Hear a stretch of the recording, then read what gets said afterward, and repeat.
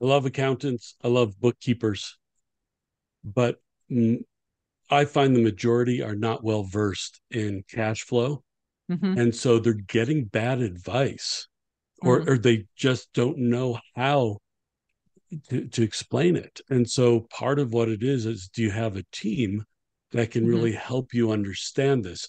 So mindset is a big issue, right? Part one thing is education, which is what we were just talking about, getting yourself educated. But the other part is mindset. If you don't have advisors who have a cash flow mindset, then you're in trouble.